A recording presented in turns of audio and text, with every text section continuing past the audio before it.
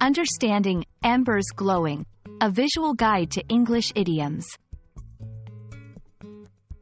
Hello and welcome to our English learning series.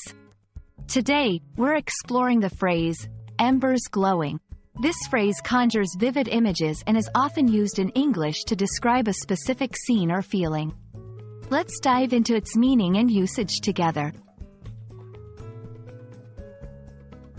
Before understanding the whole phrase, it's crucial to know what embers are. Embers are the small, glowing pieces of coal or wood in a dying fire.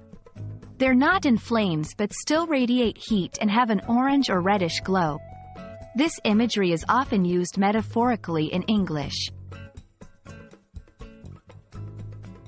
The word glowing in this context refers to the light or brightness that embers give off. It's a soft, warm, and often comforting light.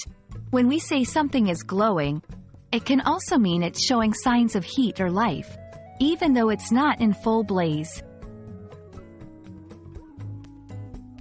When used metaphorically, embers glowing can describe situations or feelings that are no longer intense or new but still have some life or potential in them.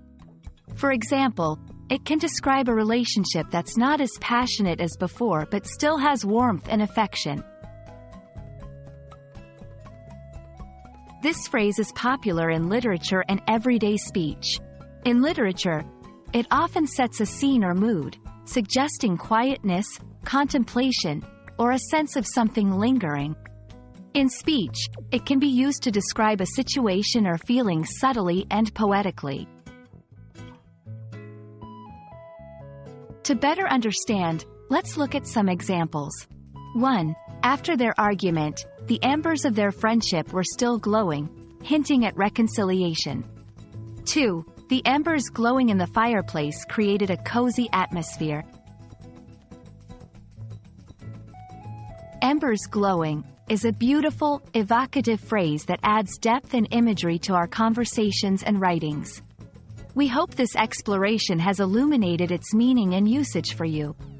Thank you for watching, and stay tuned for more insightful English language explorations.